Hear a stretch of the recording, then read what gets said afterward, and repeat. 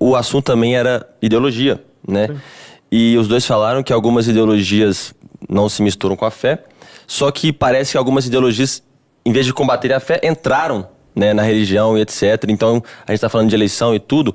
É, alguns pastores e padres mesmos é, defenderam, né, sejam ideias progressistas também, né? Parece que existe uma infiltração dentro da igreja. Por que, que isso acontece? Né? O, que você, o que vocês acham disso? Como é que isso funciona? Bem, a história do cristianismo começa com a infiltração de Judas, né? Então, assim, não é novidade nenhuma. Houve uma época na igreja você tinha Cristo e 12 bispos. Um traiu, o outro negou, o resto correu. Então, assim, não é bem, não é bem uma... Já me convenceu. Já me convenceu. Não é bem uma um grande... Não é bem uma grande novidade que... Estamos a zero dias sem, sem sermos infiltrados. Né? Exatamente. Né? Nosso recorde é de zero dias. não é bem uma novidade e, como a história demonstra, indústria, isso não impediu que o principal fosse feito. Né? Mas, é, só, só um ponto que eu queria retornar, que o padre falou que é muito claro. interessante, essa coisa da, das instituições, as, da, da instituição ela induzir e promover a virtude, né? Isso também entra no, na questão do ódio e por que as forças institucionais hollywoodianas têm tanto ódio ao cristianismo. Sim. Porque isso tem uma relação direta com a natureza das coisas, sabe? Então, veja, como tudo quanto existe, as coisas elas chegam ao seu ponto ótimo quando ela é utilizada conforme a sua própria natureza. Então, uh, esse copo chega ao seu ponto melhor se ele é utilizado como copo e não como enxada, por exemplo, certo? Isso vale para o copo, para essa planta, para esse microfone e vale para o homem também. Ou seja, você, a natureza humana, para se desenvolver, ela exige um ambiente humano que corresponda àquelas necessidades da natureza humana. Né? Quando nós pensamos do ponto de vista biológico, isso fica muito claro.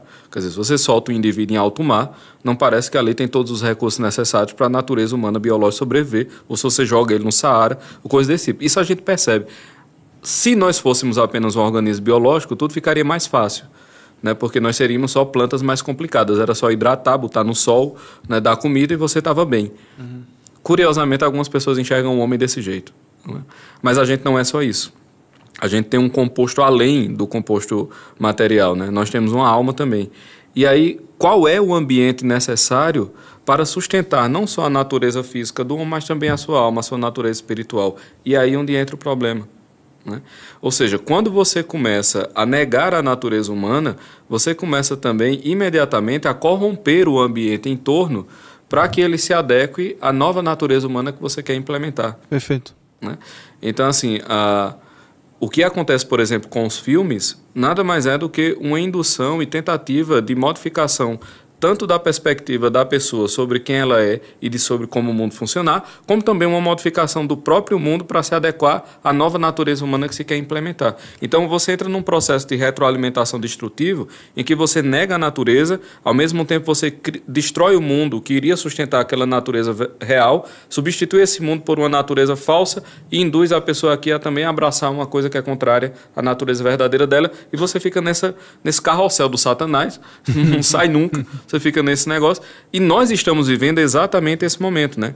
Então, a, a influência sobre o meio para torná-lo humano é uma necessidade. Hoje, o mundo, eu digo sem, assim, sem sombra de dúvida, todas as estruturas sociais que nós temos hoje, que estão para serem implementadas, elas são de base anti-humana. Elas são contrárias à natureza humana. Inclusive os valores passados pela indústria, pela boa parte da mídia. E é que tá, voltamos ao início. Por que é que o cristianismo é boicotado e odiado? Porque ele é um estandarte da natureza humana. É claro, meu filho, se você levanta uma prova de que a natureza humana existe de um determinado modo, num ambiente que quer se colocar hostil a essa natureza, claro que você vai ser atacado. Isso é, isso, é, óbvio. Né?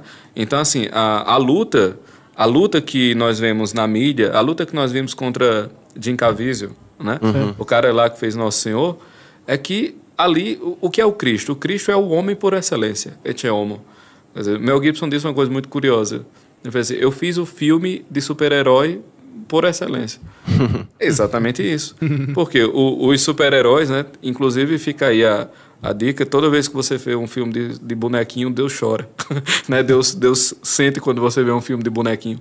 Então, veja, isso que são os super-heróis? São meio que projeções de uma tentativa de divinização humana. Né? É, é, um, é um paganismo soft, basicamente. Né? Não estou dizendo que você está em pecado por assistir, não. Mas a, a, ideia de, do homem perfeito ser aqueles homens é loucura. A, o homem perfeito é o homem da cruz.